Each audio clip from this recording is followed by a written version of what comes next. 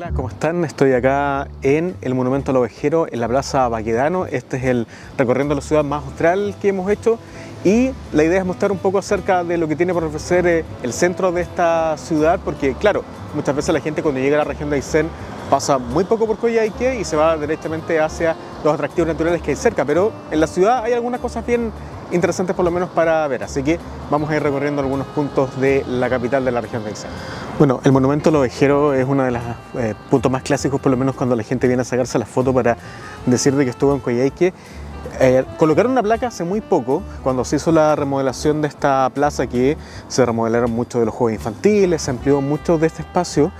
eh, que es eh, uno de los más clásicos acá de la ciudad, y se colocó una placa para eh, dejar claro una cosa, que era motivo de debate siempre, ¿cuál es el original? Si es el de Punta Arenas o es el de acá. El original, para todo efecto, es el que está acá en Coyhaique, pero por una razón bien específica. Cuando se eh, hace el monumento al ovejero en Punta Arenas, cuando se arregla cerca de los finales de los 60 de haber sido, principios de los 70, el original, que es de granito, se trae a Coyhaique y es el que estamos viendo acá. Y en Punta Arenas hay otro que es metálico. Entonces, para todo efecto, el ovejero original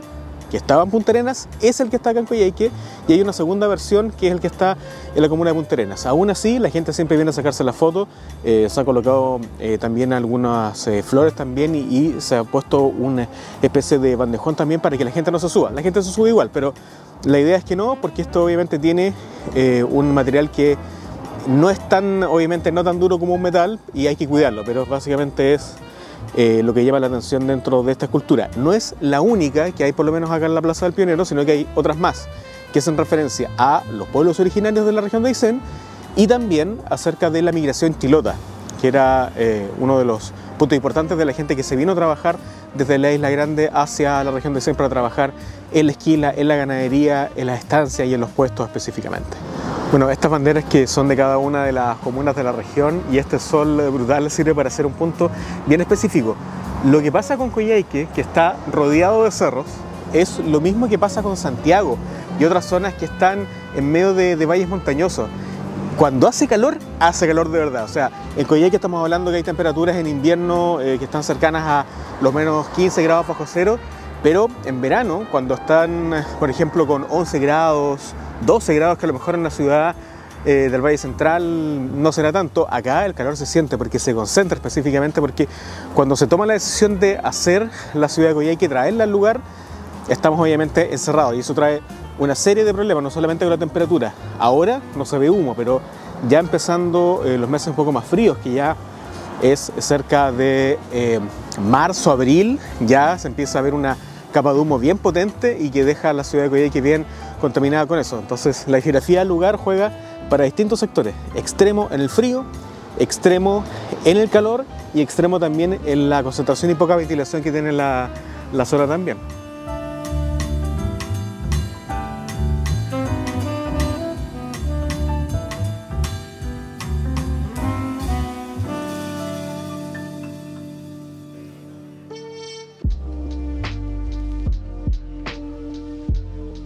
Bueno, este Centro Cultural Aysén fue un logro bien importante porque durante muchos años en Coyhaique existía un espacio muy chiquitito que se llamaba la Casa de la Cultura y era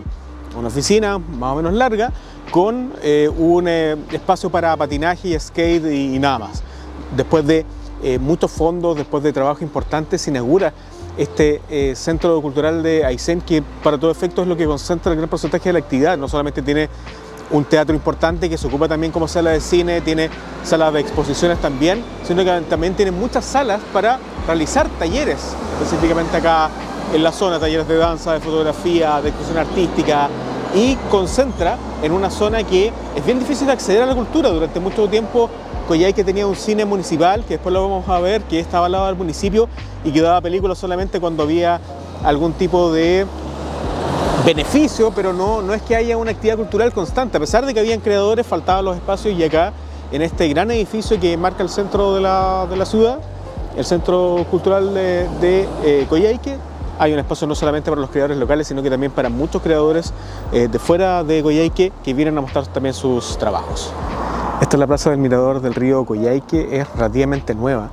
Eh, dentro de esta ciudad se eh, inauguró el 2010, si no me equivoco, algunos meses después del 2010, y algunos arreglos se hicieron en el año 2020, pero ¿por qué había tanto apuro de hacerlo en ese tiempo? Porque lo que está acá, y que es una hasta bandera que se ve en gran parte del centro, es la bandera del Bicentenario. Yo creo que la polémica se generaba porque a meses del terremoto del 27F se gastaba una cantidad importante de plata en hacer estas banderas del Bicentenario y yo creo que no solamente acá en Coyhaique, sino que muchas ciudades se han ocupado 10 o 20 veces después de que se inauguraron, es poco. Y bueno, está acá y en gran parte del año se ve esta estructura como una esta bandera. Pues ¿no? No, hay una bandera, por ejemplo, acá eh, flameando, por ejemplo. Pero sí lo que está interesante es este tipo de construcción que está hecha para eh, mirar el río Coyhaique que tiene ya algunos carritos de eh, hamburguesas, jugos también, tiene algunos otros eh, monumentos que muestran acerca de la colonización de Aysén, pero es extender un poco el centro, no solamente sentarnos en la plaza, que ya la vamos a ver, una plaza metagonal, sino que también ver algunos otros puntos de interés y que muestran el entorno natural que tiene Coyhaique.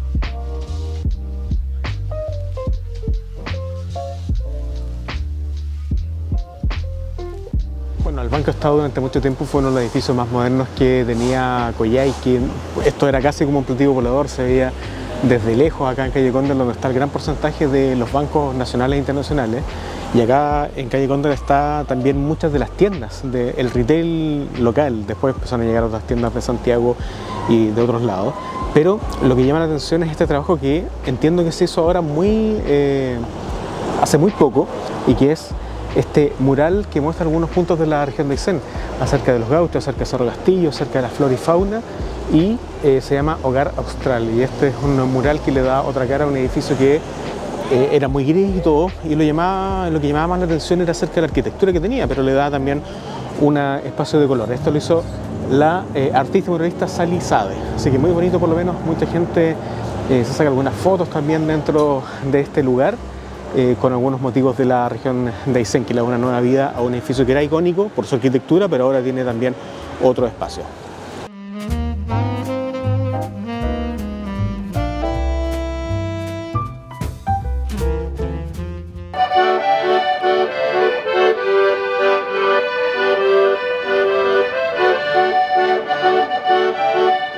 Bueno, acá se ven muchos vehículos estacionados porque Condel es una calle comercial donde está el gran porcentaje del retail, pero también por un problema que afecta a esta ciudad donde el parque automotriz es demasiado grande por una comuna tan, tan chica y es porque la movilización no es de la mejor calidad, no hay tanta, pero también porque es una zona que tú la puedes caminar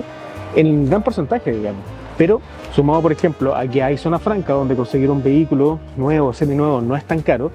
eso hace que haya demasiados vehículos para la cantidad de personas, para el paño de la ciudad y también para muchos de eh, las ideas que existen de planificación de la ciudad. Entonces, claro, acá en el centro tú ves eh, casi todo ocupado, hay algunos estacionamientos o lugares que se han transformado en estacionamientos, pero también si tú vas a los sectores residenciales ves vehículos estacionados en la vereda, en el antejardín, vehículo tras vehículo tras vehículo. Entonces es un problema, por lo menos dentro de lo que ocurre acá, y esto no solamente en Coyhaique, también en algunas comunas que son también más chiquititas, como Puerto Varas o Yanquihue, que también tienen un parque automotriz demasiado grande para el paño o el área urbana eh, diseñado. Bueno, en la zona franca no solamente son los vehículos, sino también en muchos de los productos acá. Eh, se pueden ver en distintas medidas según el tipo de negocio, en mucho producto argentino también, no solamente los aceites, distintos tipos de mantecol, algunos dulces, hierro mate y todo, pero si tú vas, por ejemplo, a algunos supermercados, puedes encontrar algunos productos que no están en el resto del país, así que eso es también un, un dato importante, ¿no es? Como por ejemplo Punta Arenas o en el caso de eh, la SOFI, donde hay lugares físicos de eh, zona franca, sino que acá cada negocio eh, coloca algunos productos traídos específicamente desde Argentina mayormente. Bueno, la gracia de Coyhaique al ser una zona poblada dentro de la Patagonia es que también ha aprovechado mucho de los centros comerciales para generar experiencias de comercio que sean de mayor nivel. Se han cambiado mucho los negocios más tradicionales por otros donde hay una arquitectura, por ejemplo, ocupando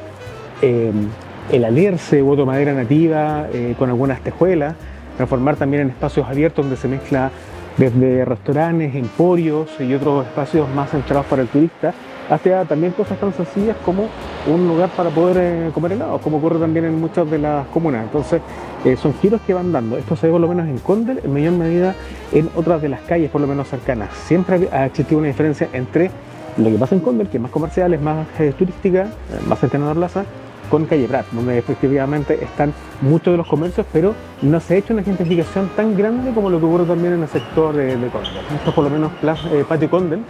que es relativamente nuevo, esto no debe tener más de 6 años y se ha hecho un trabajo importante en mejorar también la experiencia de trabajo. Esto durante mucho tiempo fue una casa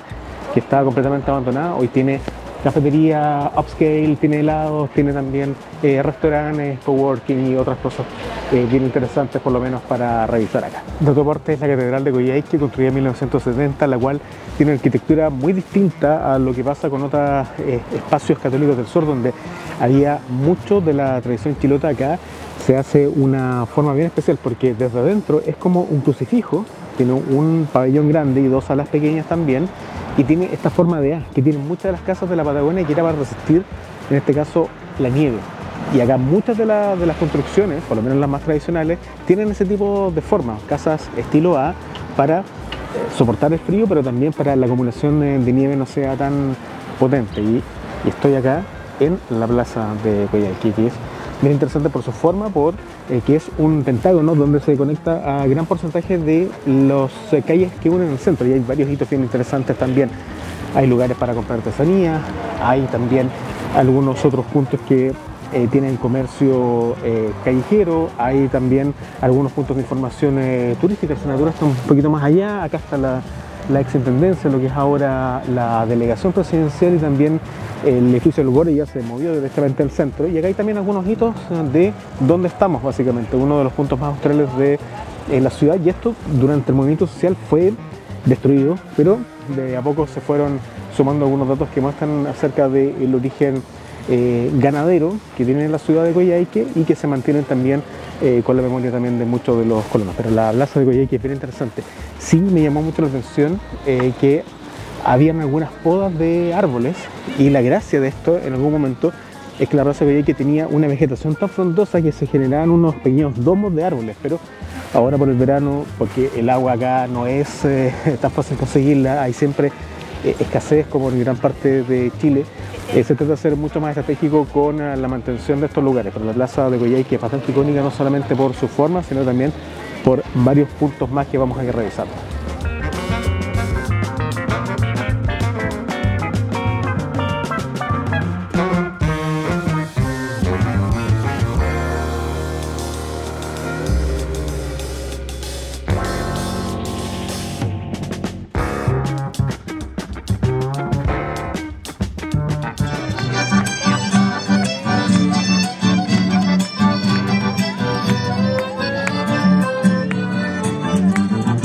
Acá en la plaza de Coyhaique también hay una cosa bien interesante. Esto es, a ver, cerca de eh, Cochrane, que es donde está la biblioteca municipal, pero esto es una cápsula del Bicentenario. No se nota por lo menos, pero la construcción supuestamente es que acá era una volada. Y por ese hoyo que está ahí entraba la luz del sol al atardecer y mostraba dónde estaba la cápsula. Es como Tesoro Nacional la película de Nicolas Cage, pero claro, acá en 2010, eh, para el 2 de octubre del 2010, se colocó una cápsula del Bicentenario con algunas cosas que marcaban por lo menos esa época. Habían bueno, diarios impresos, eh, algunas otras fotografías por lo menos de la, de la ciudad, pero muchas veces este eh, espacio que, bueno, lo han pintado un poco, la gente no siempre sabe de que es una cápsula bicentenaria que está acá, ni siquiera una placa, por lo menos que, que indica. Este es el Odeón de la Plaza de Goya, que en algún momento, como su nombre lo dice, fue un espacio de reunión donde se hacían eh, muchos de los actos públicos, tocaban algunas de las orquestas hoy en día. Después de mucho tiempo abandonado se transformó en una oficina de información turística y esta es la parte un poco más alta de la, de la Plaza de Goyay, que acá está cerca de varios puntos de información turística, pero también de empresas turísticas. Acá no solamente es personas que están un poco perdidas y quieren saber, por ejemplo, cómo llegar hacia el Mirador de la Piedra del Indio, o cómo llegar al Mirador del Río Goyay, o conocer algunos de los puntos fuera de la ciudad, sino que también muchas empresas que generan tours bastante buenos y con precios obviamente eh, centrados para los puntos que siempre pidan, que es el Parque Nacional Zorro Castillo, hacia las catedrales de, mármol y eh, también para conocer, por ejemplo, Tortela. Entonces, en la plaza es el punto de encuentro para muchas de las personas que eh, mochilean, hay muchos extranjeros, especialmente durante esta parte del año, eh, que llega desde Europa principalmente a conocer la región de Aysén y acá es el punto de encuentro por lo menos para quienes no tenían un tour ya buqueado de antes, lo pueden hacer desde acá. Esto es el Paseo Horn. Esto era como su nombre lo dice, una calle eh, dentro del centro de la ciudad, pero a mediados de los 2000 se transformó en un paseo peatonal, porque se unen varias cosas, se unen algunas galerías comerciales que siempre han existido, acá en su momento estaba el Café Ricer, ahora tiene otro nombre, la Plaza Confluencia se llama. En muchos años fue el Ricer y después ya fue eh, vendido por la familia original. Eh, acá también hay muchas de las empresas, por ejemplo, como North Face, está Patagonia también, y dentro de esas eh, empresas, ¿por qué tienen locales acá en Coyhaique? Es porque durante mucho tiempo Douglas Tompkins vivió acá en la región de Aysén. De hecho, él falleció en la región de Aysén. Falleció en el sector de Guadal y en su afán de conservación muchas de las tiendas de outdoor vinieron a tener oficinas acá con muchas de las empresas. Y acá también hay galerías comerciales, eh, hay eh, muchas de las empresas también y cada tanto se van haciendo algunos, algunos shows de música más, más tradicional. Lo interesante también para la gente que conoce de la experiencia de la mesa tropera en Puerto Varas o en Frutillar, todo comenzó con este local que está acá, que es el Mama Gaucha, que es este local de eh, Pisa la Piedra y desde acá la empresa creó el local de la mesa tropera acá en y después empezó a escalar. Primero a Puerto Varas, después a Frutillar y ya una marca mucho más conocida, pero el local original es este de acá, que sigue siendo súper reconocido, súper visitado también eh, por muchos de los turistas que llegan hacia la, zona y está justo acá en pleno Paseo Horn donde hay muchas opciones para poder eh, comer, para poder eh, conocer también y ver lo que pasa con el centro de la ciudad.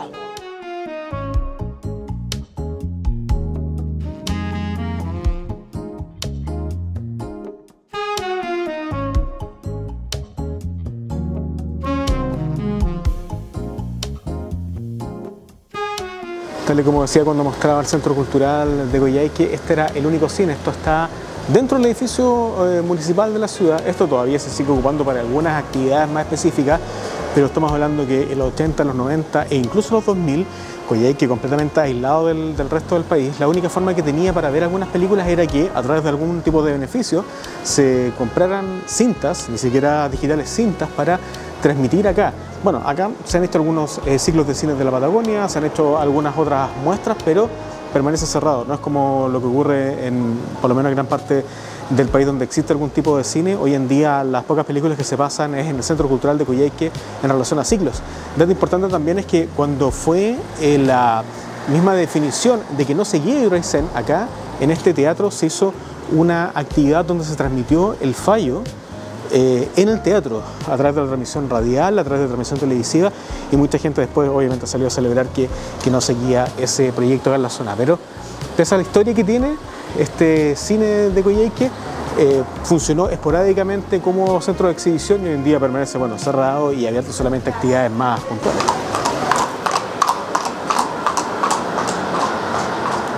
Bueno, acá empieza Calle Prat, que es la segunda calle comercial más importante de Coyhaique, donde está gran parte del retail, las farmacias, muchos negocios también locales y donde eh, se mezclan eh, muchos de los espacios de modernización de la ciudad. El retail nacional empezó a llegar acá en la zona como el, a finales del 2000, 2007, 2008 fue Corona y DIN, que te demuestra un poco que son mercados un poquito más pequeños dentro de la ciudad. Acá durante mucho tiempo se intentó generar algún tipo de mall, pero eso solamente quedó en algunas planificaciones y, no se ha visto por lo menos que sea algo que pueda eh, sostenerse por lo menos en el tiempo, sino que son algunas tiendas un poquito más grandes que cumplen ese espacio. Bueno, hasta aquí llegaron los termos Stanley, no solamente los para el mate, que es obviamente algo esperable acá en la zona, sino que también eh, los eh, tazones específicamente. Eh, con plomo o sin plomo. Va a haber un video después acerca de eso, pero para que vean de que acá en la zona todo lo que sea outdoor tiene muy buena venta. Bueno, acá está Besadín, una tienda que también está en un proceso de consolidación con otras más, entonces estos son los mercados que la mantienen viva. Acá el hecho de estar tan alejado del resto del país hace que la gente, pese a que existe a Mercado Libre, prefiere a veces comprarlo en lugar por ese alto precio porque se demora menos. Incluso si uno pide algunas cosas en Mercado Libre, no tienen por cosas de logística, porque no hay acá un centro de resolución, no llega en un día, llega a veces una semana. Y si uno necesita cosas más o menos grandes, como una cama, un refrigerador o una tele, tiene que pedirlo en este caso en el retail tanto nacional como también en el local. Bueno, el Gran Calafate, esto es una de las tiendas clásicas acá de Coyhaique que en algún momento eran eh, tres las que podían en este caso entregar muchos de los productos que venían desde el resto del país, que era Casa Alicia, que todavía existe, separada en espacios de outdoor y también de menaje, importaciones, libros. El Gran Calafate, que la que tenemos acá, más centrada en la ropa y en el diseño. Y eh, Fase Hogar, la que duró hasta un porcentaje de tiempo que era más centrada en la electrónica y el retail y que eh, por la competencia que hubo en su momento, después fue comprada por la empresa Carrasco Créditos. Pero acá es una tienda que hasta el día de hoy se mantiene y la gracia también de las comunas un poco más pequeñas y que tengan este tipo de tiendas es que la selección y la curaduría de la ropa es única. O sea, si tú te vas a comprar una cosa acá, tú sabes que el polerón hay como dos de este y no es como, por ejemplo, cuando vas a, a Falabella o a Ripley, a Park, o donde sea, hay 20 chaquetas iguales, 10 chaquetas iguales acá. Claro, es más caro, pero hay una cierta selección eh,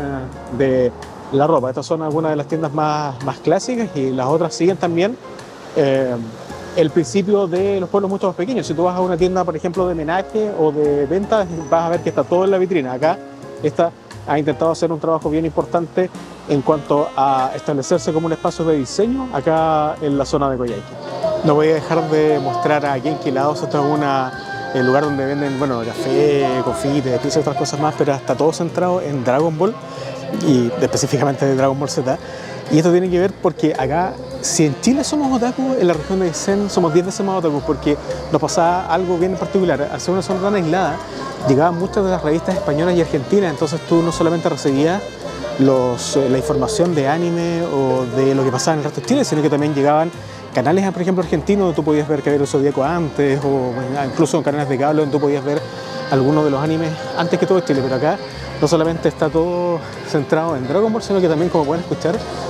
es todo el día hay música de Dragon Ball. De hecho, un día estuvieron con una, eh, un podcast audio que era como recapitulando toda la saga de Cell. Si quieren venir a sacar, sacar las fotos de Dragon Ball, esto está acá en eh, Prat con Lautaro. El nivel de otaku acá en la región de Isen es a otro nivel. Bueno, también acá en Lautaro hay otra galería comercial bien interesante, es muy bonito este mural que muestra acerca de la región de descenso, flora y fauna y eh, también se ha hecho un espacio para que muchos locales comerciales puedan coexistir desde temas de ropa, frutos secos. Acá en Aysén es impresionante la cantidad de, lugares eh, naturistas de frutos secos también, una ciudad muy natural. Eh, obviamente faltaba, la comida mexicana, hay un poco más allá, y eh, muchos temas de fitness, entonces hay un interés por lo menos con estar en contacto con la naturaleza y muchas personas que buscan esos productos, pero acá muchos lugares que durante un tiempo eh, estaban o abandonados o transformados en algunas casas particulares, pues se transformaron estas pequeñas galerías dentro de eh, las calles principales de Coyhaique, donde no solamente se trata acerca de un negocio, sino que de colocar pequeños negocios chiquititos en eh, galerías ya existentes o en habilitar también otros espacios y darle también otra vida al centro de la ciudad. Bueno, como había dicho anteriormente, de que hay muchos negocios de la zona que sí no ves algo en la vitrina es porque no hay. Acá pasa, por ejemplo, con muchas de las galerías que están en Pret, pero también en otros puntos de la ciudad donde hay eh, mucha venta de productos outdoor. Acá, obviamente, toda la escena de caza, pesca y exploración es bien importante, pero también pasa mucho que hay eh, electrónica un poco más antigua donde hay piezas de colección, verdaderamente, o sea, específicamente con los relojes clásicos Acá eh, pasa mucho en Coyhaique que se compra un producto y si no se mueve, no se saca de la vitrina. Y hay una colección muy bonita de Casio de todo tipo a precio de colección, básicamente, pero bastante buenos y modelos que yo ni siquiera había visto online. Así que de repente, si vienen acá a Coyhaique, dense la vuelta por el centro porque van a encontrar a veces mucha rareza o piezas de colección también. Bueno, siempre es impresionante ver acá las cadenas montañosas de Coyhaique. Acá empieza la avenida Gana, si uno sigue para allá, llega a Balmaceda hacia el aeropuerto, después de eh, creo que son como una hora y media, un poquito más, para llegar al aeropuerto, pero acá en cierta forma termina el centro, un poco más allá está Sodimac, que muchas veces la gente le dice el mall, pero no, hay muchas construcciones que se están haciendo por allá, pero el, centro comercial de, para todo efecto de que termina, termina acá. Esto es como un elige tu propia aventura. Acá hay un eh, pequeño eh, bandejón donde hay varias opciones. Y en esta, como decía, elige tu propia aventura, está hay tres opciones. Uno, lo que se ve en el fondo es la carretera austral. Si tú sigues para allá, está, bueno, Sodimac y si sigues avanzando, llegas hasta el final, vas a salir de Coyhaique y vas eh, con camino hacia Valle Simpson, El Blanco, también el camino hacia Cerro Castillo. Y también finalizando hacia el aeropuerto de Balmaceda para salir de la, región de Aysén. Si sigues por donde está este espacio naranjito que se ve y dice Puente Mar Estado, tú sigues caminando y en unos minutos más vas a llegar a el mirador de la Piedra del Indio. Y acá, si sigues caminando por esta calle, vas a llegar hacia eh, otra, otro mirador también, que es un paseo eh, que se generó pensando en la vuelta del estadio y donde está ahora el gobierno regional. Entonces, eh, si uno quiere, por ejemplo, ver algunos puntos, si uno camina, por ejemplo, por este espacio, como decía Carretera Austral, caminas un poquito más y está el Museo de la Prensa Aysén, que son básicamente algunas de las primeras prensas que se trajeron a la zona para hacer los diarios. Acá donde va bajando una persona vas a ver la Piedra del Indio. Es un camino que hay que hacerlo de día, directamente. Es un sector donde pasan constantemente vehículos, es un camino a tierra, el puente no está para, para cruzarse, pero dense el tiempo por lo menos de hacerlo. Mucha gente en la plaza preguntaba cómo llegar. Y eh, el mirador es quizás la opción más interesante porque tiene una ciclovía, tiene un espacio por lo menos para ver algunos puntos de interés eh, dentro de la ciudad. Uno mira esta ciclovía y piensa en Puerto Montt que tiene muchos más recursos y no tiene nada ven que es súper fácil hacerlo,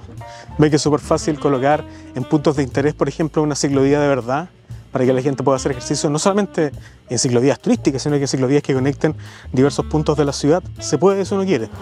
Esta es para todo efecto la ruta 7 Sur y acá hay una serie de parquecitos para que la gente pueda sentarse a hacer ejercicio. Mucha gente también eh, haciendo jogging, mucha actividad física acá en la zona. Siempre, bueno, la basura, Siempre pasa eso en muchos de los espacios públicos. Y lo que pueden escuchar es que esta como buena ciudad pequeña, a las 12 del día suenan las sirenas de bomberos y se escucha en todos lados. Eh, allá arriba se ven algunas de las antenas de telecomunicación eh, celular y también de televisión y más abajo hay también algunas eh, plantas productivas. la piedra del indio está como por ahí abajo, si uno quisiera dar la vuelta, pero vamos a seguir por lo menos por este paseo que conecta la Ruta 7 Sur y que tiene varias fotos bien entretenidas acá.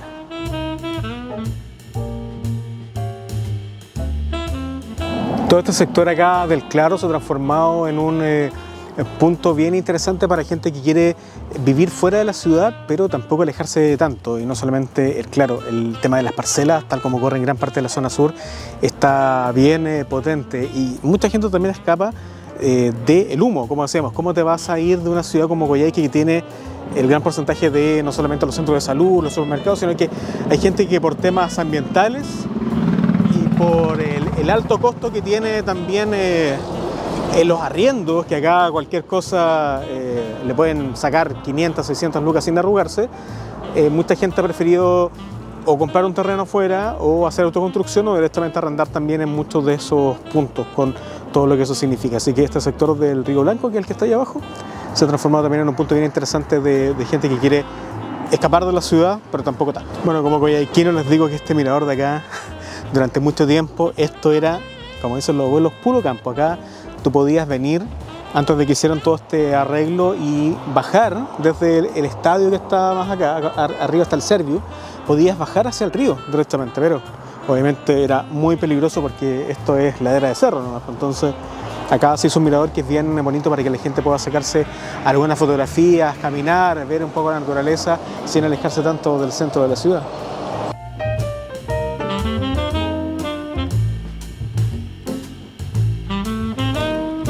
Bueno, este espacio de acá, esta pequeña plaza también entrega algunos puntos importantes como los llamados food trucks y también varios puntos para seguir viendo el Río Blanco y es bueno que se aprovechen estos espacios públicos para que la gente no solamente tenga un paseo, sino que también pueda disfrutar de la naturaleza, disfrutar a veces de una hamburguesa, una empanada, algún juguito, algo, para extender un poco el centro de la ciudad.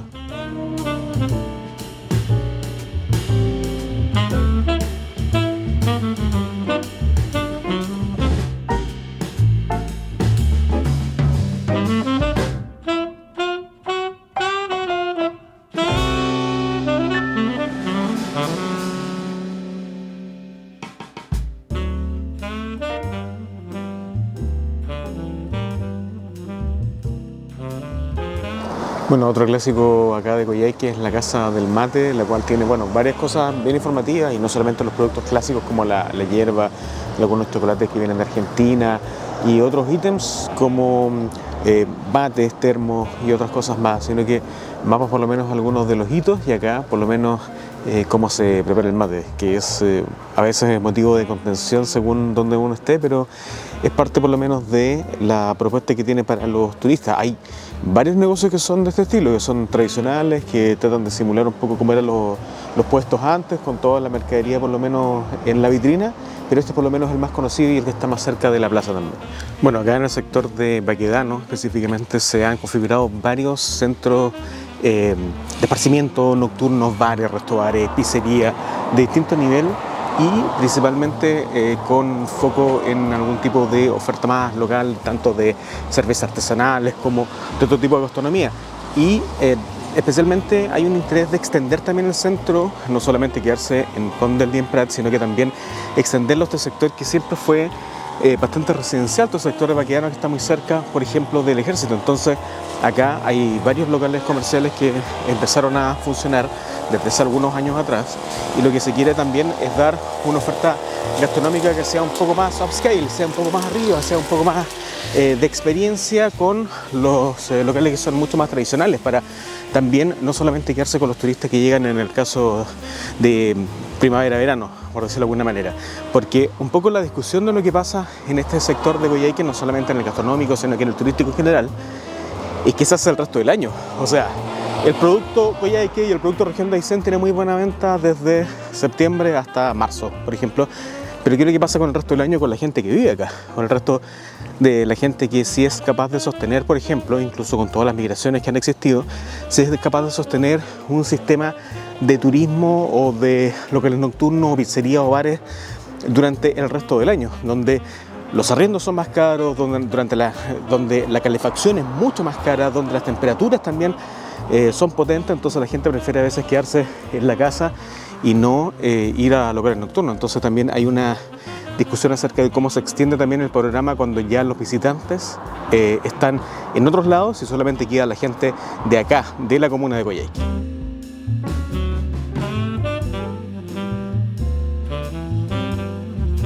Bueno, y acá atrás mío hay uno de los carteles de Coyhaique que está en la salida hacia Aysén. Y es parte del branding que se ha colocado en la ciudad en varios puntos para rescatar un poco eh, el carácter más natural, más salvaje de la zona. Y un poco cerrar este video hablando acerca de qué es lo que pasa con Coyhaique, porque por lo menos la parte turística, tanto nacional como internacional, está súper clara, está bien definido qué es lo que se puede entregar como región, pero no tanto como ciudad. Eh, hay algunos puntos específicos de mejorar la experiencia de la persona y que se quede más tiempo, porque muchas veces la gente aterriza en Balmaceda o pasa por la ruta de la carretera austral, llega a Coyhaique, eh, se aprovisiona de un par de cosas y luego se va hacia otros puntos que son mucho más interesantes de la región, pero la idea es que el visitante se quede algunos eh, días más, vaya a los lugares nocturnos, vaya a algunos centros que tienen algún interés eh, turístico y también histórico, pero también qué es lo que pasa con la comunidad hacia adentro, porque una vez que se van los turistas y empieza abril, mayo, ya te empiezas a, encontrar con un Coyhaique mucho más contaminado, con un Coyhaique que está con un nivel de automóviles mucho mayor al necesario, con altos costos de calefacción, con altos costos tanto de arriendo, vivienda y alimentación, entonces también qué es lo que queda para la gente de la zona y cómo también puede sostener mucha de esa industria turística que está dormida gran parte del año y ya empieza a retomar en el mes de septiembre-octubre y de ahí se mantiene por lo menos hasta marzo y un pedacito de abril también. Así que esos son algunos puntos interesantes de la ciudad de Coyhaique. ¿Conocían la ciudad de Coyhaique? ¿Conocían la región de Aysén? Déjanos tus comentarios y nos vemos en el próximo video.